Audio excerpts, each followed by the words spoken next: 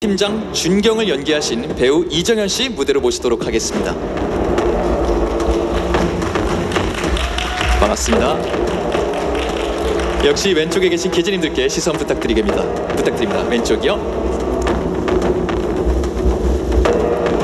또 중앙에 계신 기자님들께도 시선 부탁드리겠습니다.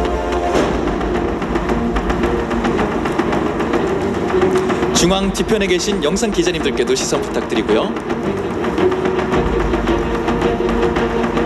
마지막으로 오른쪽에 계신 기자님들께도 시선 부탁드리겠습니다.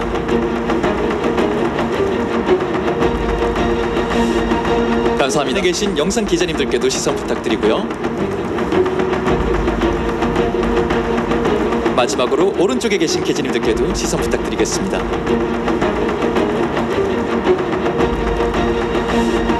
감사합니다. 이정은 배우도 잠시 아래서 기다려 주시고요. 다음으로 기생생물의 정체를 파헤치는